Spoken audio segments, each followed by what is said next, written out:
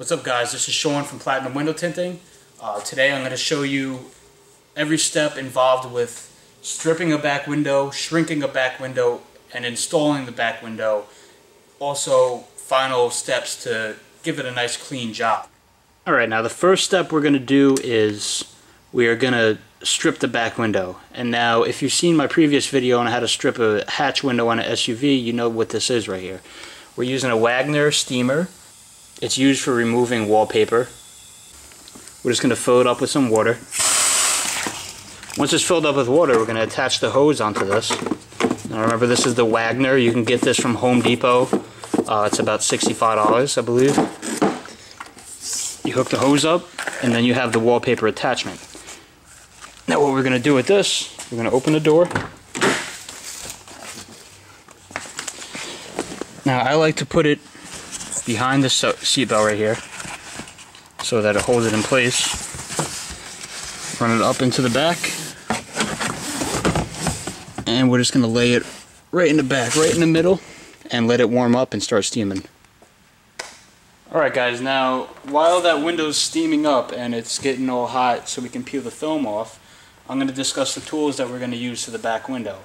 This is just about for any window, for any back window on any car. You're going to need, of course, the inside towel to clean the window. And then hanging right here, we have the outside towel, which is drying. This is used to clean any debris off the window before we go to put the dryer sheet on. That makes sure there's no sand or debris on the window. Because if you go to shrink a piece of film on the back window that has, has any type of grit, overspray, I mean heavy overspray, or sand pieces on the glass, you're going to end up ripping a hole in the film the way that I do it, which I use a hard card. Um, I'm going to explain to you and show you how to shrink the window film with a rag so you can minimize those problems if you have a piece of glass that has a lot of overspray and a lot of bumpy texture to it. So, of course, first you need the interior rag. You're going to need the typical Wagner heat gun. Um, any heat gun will use, any heat gun will work. Um, you're going to need a side swiper. This is for getting the bottom of the window. You get both sides. And then the bulldozer. This allows you to go behind the brake light so you don't have to cut out for it. Also right here we have a scrubber. It's basically a Velcro pad. And then we have blue non-score pads, which I get from Home Depot. They're Scotch brand. They don't scratch the glass, they don't scratch the defrosters, but they do take off the residual glue or any dirt that's behind the brake light. This is for getting behind the brake light. You're going to need your Downy dryer sheet. This is used for applying to the glass so that when you lay the film on it, you can shrink it easier. It doesn't stick to the glass. It just floats on top. And of course, your drop light.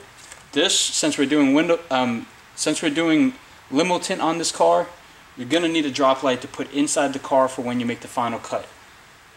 Okay, now let's go over the solution that I'm going to use.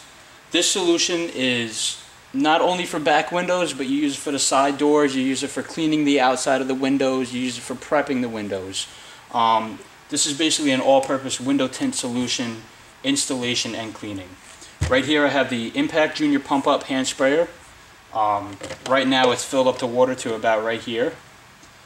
And the soap that I'm going to use, many people use Johnson's Baby Soap. I used guaranteed value. It's Stop and Shop brand, the cheapest stuff you can get. It's a dollar for these bottles, and I buy like 10 bottles at a time, so it lasts you forever. Now, to get a close-up, I'm going to show you exactly how much I put in here. Okay, now, what you do is take the bottle, just a little squirt, just like that.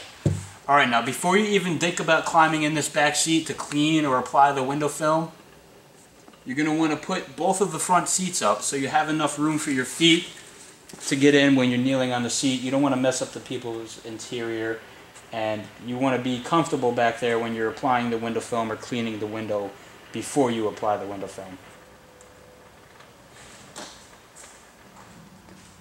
Alright now for this car um, you're going to want to roll down the windows on the doors since we're not removing the doors we're only removing the back window The First step to shrinking the back window is prepping it. You always got to wipe off all the dirt in the back window. Next thing you want to do, apply your dryer sheet. Just wet it up a little bit.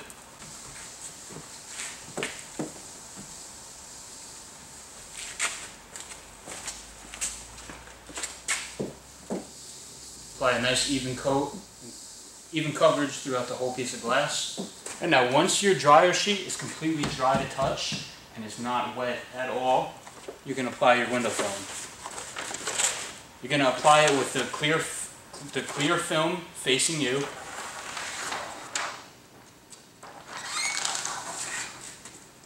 And then cut off from the bottom. Now you want to make sure you're covering the whole glass. You don't want to have any light spots. Now you're going to cut off your excess around the edges. You want to make sure that you're only cutting in the black area. You don't want to cut where the actual visibility is on the window. And you're going to do a rough cut. We're not cutting exactly right now. We're just cutting it so it's not overhanging. And then do your H pattern again to ensure it's mounted to the window properly.